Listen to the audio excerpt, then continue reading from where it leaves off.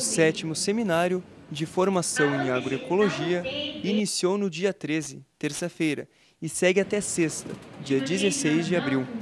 O evento é uma promoção do Grupo de Agroecologia Terra Sul, que faz parte do Centro de Ciências Rurais da UFSM. Esse CENFA é a comemoração aos 10 anos do Grupo de Agroecologia Terra Sul e tem como tema Resgates, 10 anos construindo conhecimento agroecológico.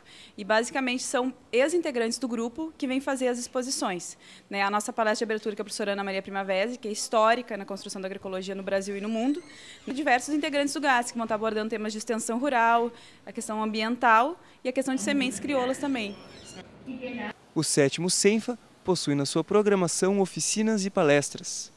Mais informações sobre o evento podem ser obtidas pelo telefone 3220 8904.